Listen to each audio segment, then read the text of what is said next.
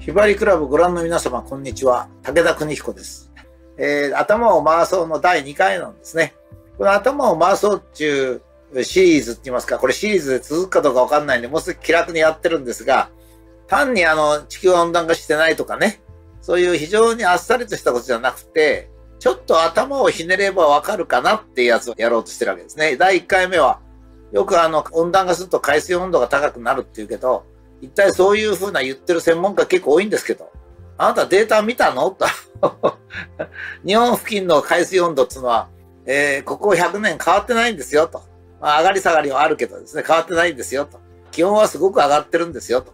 あなたどういう事実を持って、まあ、NHK もそうですけど、国民を騙そうとしてるんですかっていうのが、まあ、第1回目でしたね。第2回目はね、これはちょっと面白いっていうか、人間の頭脳の、まあ、頭脳っていうのは難しいもんなんですよ。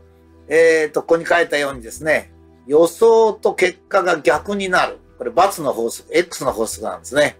この予想と結果が逆になるという X の法則っていうのは、まあ、人間っていうのがある意味で捉られてるし、それほど頭がいいわけじゃないということによるんですけどね。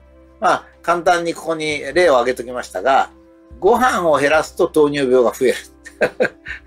あの、糖尿病を減らすためには、でんぷんとか糖分っていうか、なんていうかな、エネルギー源を減らさなきゃいけないとね。えー、この食物はエネルギーが少ないから、取っても大丈夫ですよ、なんて糖尿病の人は言ってるけどね。えー、ご飯はだいたい、えー、今から50年ぐらい前、まあ1970年ぐらいを考えますとね、日本人がご飯食べる量っていうのは、ちょうど半分になってるんですよ。ちょうど半分にご飯を減らしたら、これみんなでご飯減らそう、ご飯減らそうっつったんですよ。まあ、農家いじめようって言ってもいいですね。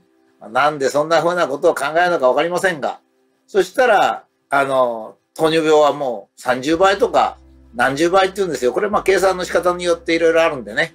なんか言うとまた人の血管をつきたい人がいるので、なかなか危ないんですが、まあ何十倍何百倍になってるわけですよ。どうしてって。いや、それはね、普通のことなんです。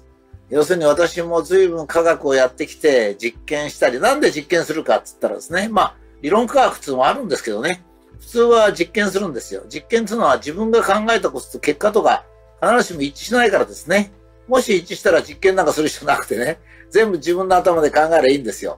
まあそんな風に言ってる人よく多いですね。データ何にも見ないでね、トランス脂肪酸が危険だとか、なんか亜硝酸塩が危険だとかなんか言ってる人いるんですけど、我々人間ってのはね、普通はですよ、ものすごく物理の基礎、基礎中の基礎みたいなもんで、理論である程度押せないことはないんですけど、まあ我々が日常的に接するようなものは非常に複雑なんで、理論じゃやっぱり押せないんですよ。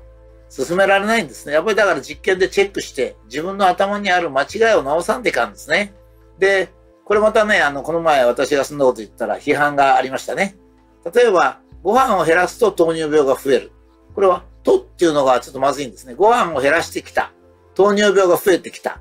そういう関係にあるけれども、ご飯と糖尿病が関係があったかどうかわからない。確かにその通りなんですね。そういうご批判がありました。まあ、だけどね、ちょっとこうそういう人に考えてもらいたいのは、そんなこと言ってたらね、全く前進しないんですよ。大体糖尿病を減らすためにご飯を減らそうと呼びかけたわけですから、呼びかけたのに逆になってる時は、一応それを指摘して、そこからもう一回考え直すっていうことをやらなきゃいけないんですね。私はご飯うんと食べると糖尿病が減ると言ってるわけじゃないんです。少なくともご飯を減らしたら、50年ぐらいの様子見てたら糖尿病がどんどん増えていくから、これは別の原因があるんじゃないですかと言ってるんですね。例えば、人間っていうのはキロカロリーっていうか必要とするカロリー決まってるんですよ。心臓は動いてるわけでしょ？足も動かすわけですよ、歩けば。頭も使うわけですよ。みんなカロリーがいるんですよ。そのカロリーをなんで取るかってことなんです。ご飯がいいのか、パンがいいのか、あおまんじゅうがいいのかね、チョコレートがいいのか、砂糖がいいのか、それを言ってるだけなんですよ。だからご飯を減らすと 他のものを取るんですよ。油とかね。だから、その人間が必要とするカロリー、熱量ですね。だからこの頃、カロリーが低い食事がいいなんて言ってるのはアホなんですよ。食事ってのは、あの、他の生物の命いただきますからね。だから命いただくってことは、カロリーの低い食品っつったら、命を多くいただくってことですよ。それはやっぱり、なんですよ。ちょっと問題なんですよね。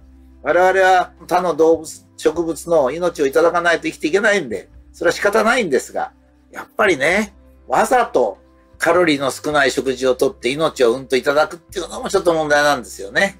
からまた、あいつも言ってますけど、禁煙すると肺がんになる。これはね、私は禁煙運動が始まる時に、えー、本も書きましたからね。禁煙すると確かに、えー、あの臭い煙はなくなるし、えー、奥さんはタバコ代が節約できていいし、家事も少なくなるからいいと。だけど、肺がんは多分増えますと。なんでかって言ったら、我々っていうのは、私の体もそうですけど、人間の細胞とウイルスとか細菌とか、え、汚いもんとか、そういうものが混合して私は生きてるんですよ。だから、綺麗にするとダメになっちゃうんですね。まあ、無菌室に入ってるとすぐ死にます。それはね、抵抗力なくなっちゃうから。だから、タバコなんつうのは弱い発がん性があってね、非常に良かったんですよ。最近あの、発がん物質が悪いっつってる人がいるんですね。それからウイルスがゼロのがいいっつってるのがいるんですよ。だって我々の体の中にウイルスだらけなんですからね。だから、そういうこの全体の知識ですね。正しい知識。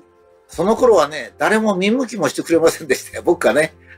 禁煙すると肺がんが増えると。だから、あの、簡単にね、そういうこと言っちゃいけませんよっていう本を出したら、もう売れもしないしね。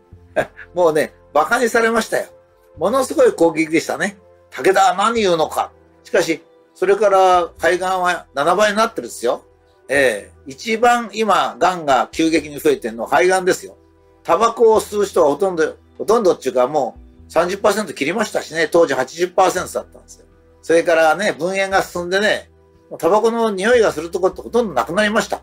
なんで肺がんが7倍になったのっていうのはね、やっぱりね、僕が良心的な医者なら、必ず私たちは間違ってましたというか、こういうことが原因でしたというか、なんかしますよ。で、高齢化したから、補正したら減ってるんだって嘘ですよ。僕、自分で計算してみましたから。そういうまた嘘の上塗りをするなってことですね。だけどまあ、ここで言うのは頭を回そうっていうのは、人間っていうのは自分が正しいと思ったことが間違ってるってことが多いってことなんですよ。ええ。だから実験するんですよ。実験して、実験結果が自分が考えてた通りっていうことは少ないんです。まあむしろね。あの、世の中って面白いもんなんですよ。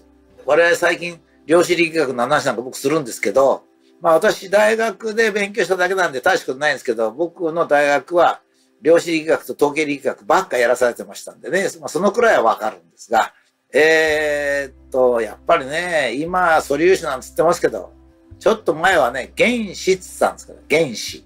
この世のものは原子でできている。だから、元、原ですね。それから死、子供の子と名前を付けた。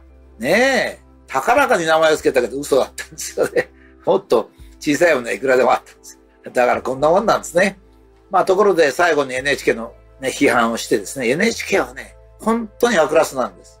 どうしてこんな悪ラスなところが、えー、受信料を取れるのかっていうのは、やっぱこれ警察がね、一回調べてもらわなきゃいけないですね。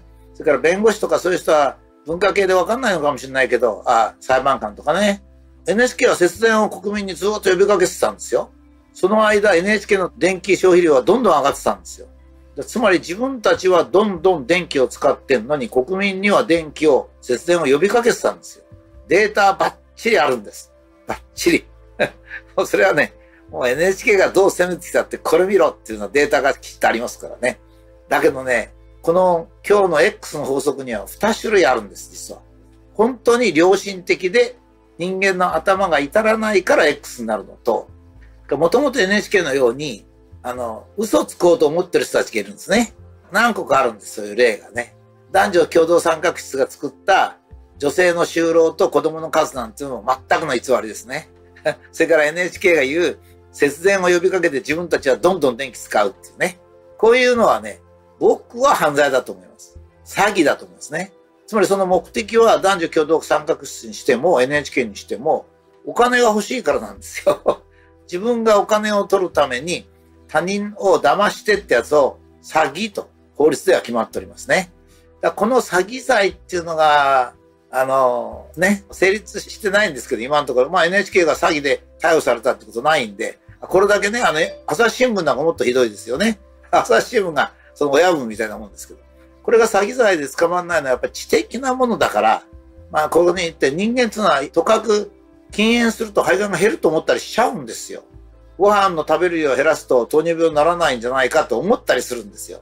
だから人間の大脳の錯覚が被るので、ちょっと法律的には罰しにくいなっていうことなんですね。それを利用してるのが NHK とか、えー、内閣府の男女共同参画室の、これは女性の方でしたね。インチキグラフを出したのはね。こういうことが起こっちゃう。だからこういう悪辣な人がいるので、人間の錯覚を利用して悪辣なことをして儲けようという人もいると。まあ、2種類ということで、誠に、えー、面白い状態ですね。まあ、我々は頭を回しましょう。